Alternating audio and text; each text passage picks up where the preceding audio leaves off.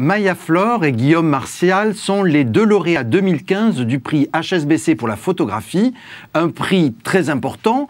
Euh, nous allons voir justement avec Christine Raoult, qui est la déléguée générale de ce prix, le mode de fonctionnement, l'organisation et surtout l'impact d'un prix photographique. Christine, merci d'être là. Alors, quelle est un peu la genèse, l'origine de ce prix photo?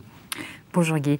Euh, l'origine euh, remonte aux années 80 puisque euh, nous avions nous avions cherché un territoire d'expression pour l'entreprise et la photographie nous semblait être vraiment un élément qui nous ressemblait avec les mêmes valeurs, quelque chose de contemporain et d'ouvert. À cette époque-là, c'était les années 80, la photographie n'était pas forcément considérée comme un art majeur. Comme pas du tout comme aujourd'hui. Ah, pas du tout, pas du tout. Et nous avons demandé à des grands photographes euh, d'illustrer nos rapports annuels. Donc c'était vraiment une démarche très particulière. Ils portaient leur regard, leur regard différent sur l'entreprise. Donc c'était une commande que vous passiez C'était une commande qu'on passait. On a passé commande à Raymond Depardon, euh, Sébastien Salgado, Elliot Erwitt, des gens qui vraiment se sont exprimés au travers de ce rapport annuel. Ensuite de ça, nous avons eu un partenariat avec le Centre national de la photographie, euh, un partenariat donc culturel qui nous permettait d'exposer, de participer à des expositions.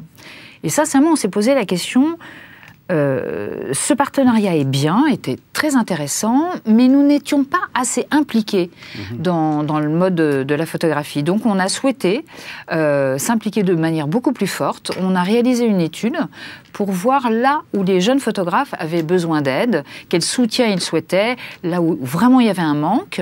Cette étude, qui a été faite auprès des différents euh, publics du milieu de la photographie, a mis en évidence que la difficulté pour un jeune artiste était de se faire connaître, bien évidemment, et surtout d'éditer une monographie.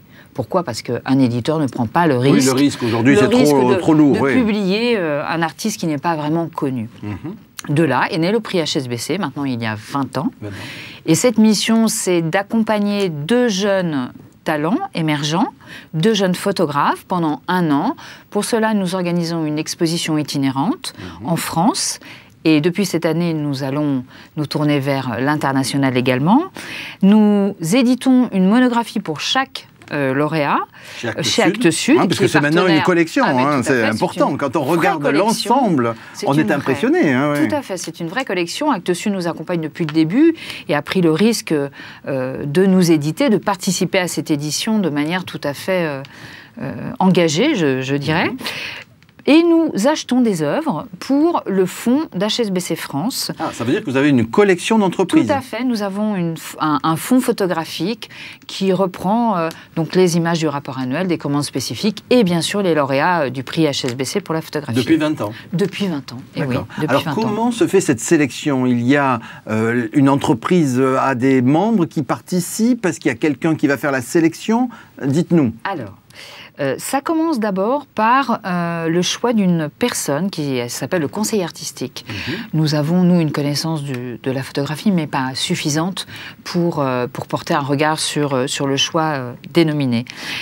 Un concours est organisé de septembre à octobre. Mhm. Un conseiller artistique tous les ans pour apporter un regard différent, un spécialiste de la photographie, qui va examiner tous les dossiers reçus et ces dossiers vont être présentés à ce qu'on appelle le comité exécutif du prix HSBC, qui est composé pour moitié de personnes de l'entreprise.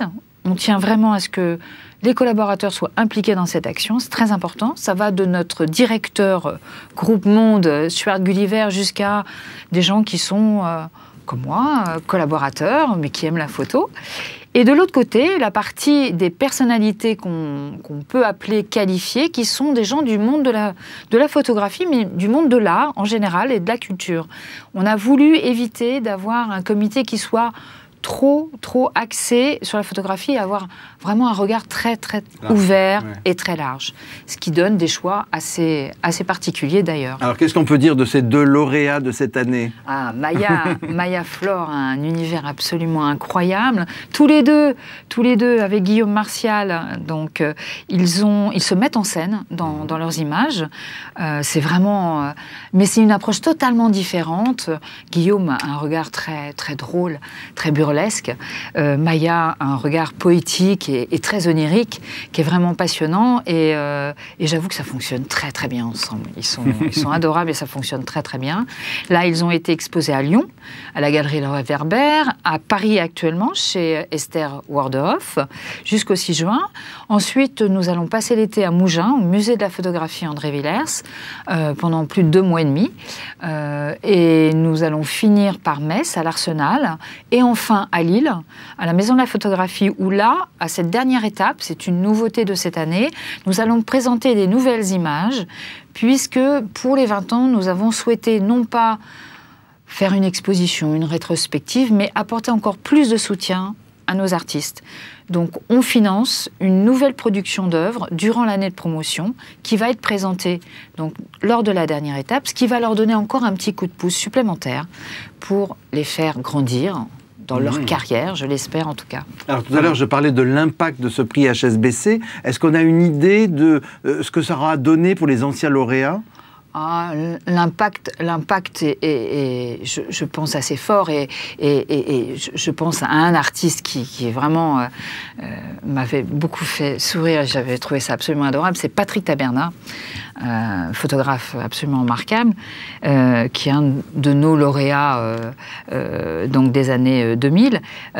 nous étions à Arles pour le lancement des monographies et, Patrick se tourne vers moi et me dit c'est bizarre. Hein. Quelqu'un est venu me voir, un monsieur de Londres, il souhaite m'exposer, il me prendre dans sa galerie. Mais j'ai dit, mais Patrick, c'est qui? Michael Open? J'ai dit, mais tu dis oui, surtout tu dis oui. Donc ça, c'est, je pense que ça leur apporte. Déjà en connaissance, ça c'est sûr. Euh, apprendre à faire un livre, c'est déjà quelque chose de très important. On, espère leur apporter aussi des techniques de communication pour euh, discuter avec leur public. La presse aussi, c'est très important apprendre à montrer son travail euh, et, peut-être progresser et trouver des galeries. C'est un exemple vivant pour eux. Est-ce que ce sont obligatoirement de jeunes artistes dans l'âge ou jeunes dans la carrière? Je dis ça pour tous les internautes qui vont voir cette émission. C'est jeunes dans la carrière. la carrière. L'âge n'a rien à voir. Ne pas avoir de galerie? Pas forcément, c'est pas une contrainte. C'est la, seule restriction, c'est ne jamais avoir édité de monographie, puisque nous offrons cet outil c'est sûr que c'est la seule restriction que, nous proposons. Bien. Merci Christine. Alors je, rappelle que Maya Fleur et Guillaume Martial sont exposés au musée de la photographie André Villers à Mougins du 20 juin au 20 septembre et que les deux monographies dont nous parlions, les monographies publiées chez Actes Sud, sortent cet été au moment des rencontres photographiques d'Arles. Merci Christine. Merci Guy.